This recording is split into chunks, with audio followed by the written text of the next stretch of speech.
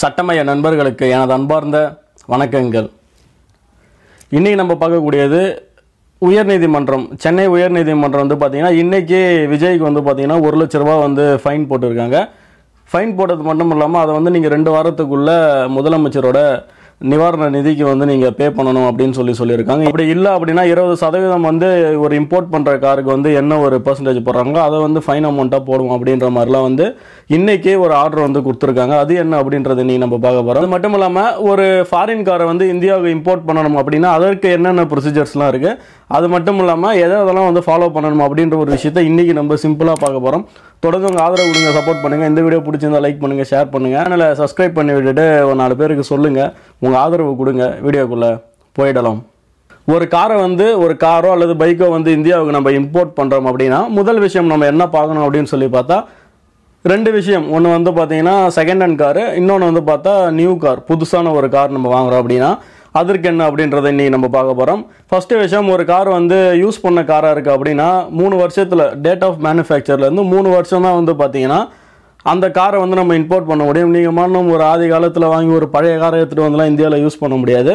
Testing சொல்லிட்டு ஒன்று இருக்குது இதுக்கு முன்னாடி நீங்கள் இம்போர்ட் பண்ணி இங்கே இந்தியாவுக்கு வந்ததுக்கப்புறமா டெஸ்டிங் சொல்லிட்டு பூனேயில் வந்து பார்த்தீங்கன்னா அதுக்குன்னு சொல்லிட்டு ஒரு டெஸ்டிங் ஏஜென்சி இருக்குது சென்ட்ரல் கவர்மெண்ட்டோட அதை வந்து நீங்கள் அங்கே வந்து அந்த டெஸ்ட்டை வந்து கிளியர் பண்ணணும். அது மட்டும் இல்லாமல் அங்கே இருக்க கார் இந்தியாவுக்கு வருது அப்படின்னா நேவல் வழியாக தான் வரணும். நீங்கள் வந்து அப்படியே ஏரோப்ளைனில் இருக்கிறது அல்லது வந்து பார்த்தீங்கன்னா அந்த மற்ற மாதிரி விஷயங்கள்லாம் பண்ணக்கூடாது. நேவலில் தான் வரணும். ஒன்று சென்னை கொல்கத்தா அல்லது மும்பை. இந்த மூணு நேவல் டாக்ஸுக்கு வந்து அங்கேருந்து அதுக்கப்புறம் டெஸ்டிங் சென்டர் போயிட்டு டெஸ்ட் பண்ணதுக்கப்புறம் தான் வந்து பார்த்தீங்கன்னா காரை நம்ம எடுத்துகிட்டு வர முடியும். எடுத்துகிட்டு வந்ததுக்கப்புறம் நம்மளோட லோக்கல் ரிஜிஸ்ட்ரேஷன் இப்போ நீங்கள் எந்த ஊரில் இருக்கீங்களோ அந்த ஊரோட ஆர்டிஓவில் வந்து நீங்கள் அந்த காரை பதிவு பண்ணணும். அதற்குன்னு சொல்லிட்டு வந்து பார்த்தீங்கன்னா ஜிஐடி டிக்ளரேஷனை இம்போர்ட் பண்ணது டியூட்டி பே பண்ணது இந்த மாதிரி வந்து ஏகப்பட்ட ப்ரொசீஜர்ஸ் இருக்குது பெரிய பேப்பர் ஒர்க் டாக்குமெண்டேஷன்லாம் இருக்குது அதெல்லாம் முடிஞ்சதுக்கு அப்புறமா அந்த ஆர்டிஓ காரை வெரிஃபை பண்ணிவிட்டு எல்லா நாம்ஸும் சரியாக இருக்குது எல்லா லாஸும் கரெக்டாக இருக்குது இதில். இதில் இருக்க அந்த ரூல்ஸ் எல்லாம் ஃபாலோ பண்ணி தான் இந்த கார் இருக்குன்றதை முடிவு பண்ணாங்க அப்படின்னா அந்த காரை இந்தியாவில் நீங்கள் ஓட்டலாம்.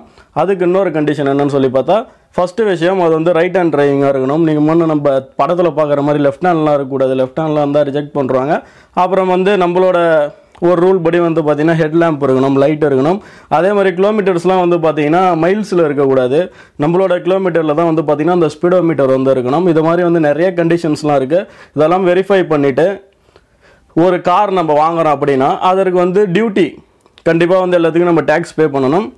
அந்த டேக்ஸ் பே பண்ணுறது வந்து பார்த்தீங்கன்னா கம்பல்சரி ஒரு டூ வீலராக இருக்குது அப்படின்னா அதாவது ஒரு டூ வீலர் பைக் வந்து நம்ம இம்போர்ட் பண்ணுறோம் அப்படின்னா அதுக்கு வந்து பார்த்தீங்கன்னா ஒரு புதுசாக இருக்குது ஒரு காரோ டூ வீலரோ அப்படின்னு சொல்லி பார்த்தா அது வந்து நூறு சதவீதம் சிக்ஸ்டி டு ஹண்ட்ரட் பர்சன்டேஜ் வந்து பார்த்தீங்கன்னா டேக்ஸ் இம்போர்ட் பண்ணுவாங்க. நீங்கள் யூஸ் பண்ண ஒரு பழைய மாடல் காரை மூணு வருஷத்துக்குள்ளே இருக்கிற ஒரு கார் எடுத்துகிட்டு வந்து யூஸ் பண்ணுறீங்க அப்படின்னா நூறு சதவீதத்துக்கும் மேலே நீங்கள் வந்து இப்போ ஒரு நாற்பத்தஞ்சு லட்ச ரூபாய்க்கு ஒரு கார் இம்போர்ட் பண்ண போகிறீங்க அப்படின்னா இந்தியாவில் நீங்கள் இன்னும் வந்து நாற்பத்தஞ்சு லட்சம் சேர்த்து தொண்ணூறு லட்ச ரூபாய் பே பண்ணால் தான் அந்த காரை நம்ம இந்தியாவுக்கு எடுத்துகிட்டு வர முடியும். இதுதான் வந்து பார்த்தீங்கன்னா ப்ரொசீஜர் இதுக்கப்புறம் எல்லாம் முடிஞ்சதுக்கு அப்புறமா நீங்கள் லோக்கல் ஆர்டிஓவில் ரிஜிஸ்டர் பண்ணதுக்கு அப்புறம் தான் அந்த காரை எடுத்து நீங்கள் ரோட்டில் ஓட்டம் தான் வந்து பார்த்தீங்கன்னா நீங்கள் காரை வந்து இயக்க முடியும். வாகனத்தை வந்து ஓட்ட முடியும்ன்ற ஒரு விஷயத்தை நீங்கள் எல்லோரும் தெரிஞ்சுக்கணும். அது மட்டும் இல்லாமல் இப்போ இந்த இஷ்யூவில் வந்து விஜய் வந்து கிட்டத்தட்ட ரெண்டாயிரத்தி பன்னெண்டில் வந்து இந்த வழக்கு போட்டிருக்காங்க.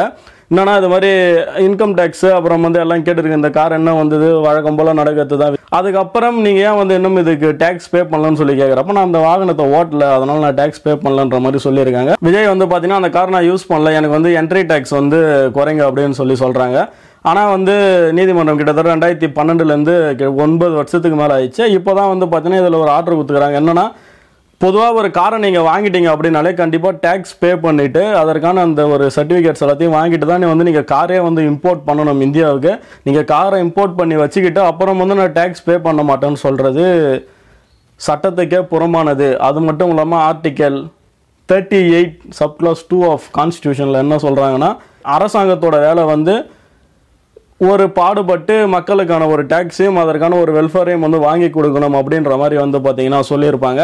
இதுதான் வந்து இதை மென்ஷன் பண்ணி சொல்லிவிட்டு நீங்கள் வந்து இதெல்லாம் வேலை ஆகாது நீங்கள் வந்து கண்டிப்பாக ஒரு லட்சம் ரூபாய் வந்து ஃபைனை கட்டுங்க அப்படின்னு சொல்லிட்டு விஜய்க்கு வந்து ஃபைன் இம்போஸ் பண்ணதுக்கான ஒரு பெரிய ஹிஸ்ட்ரி வந்து இதுதான்.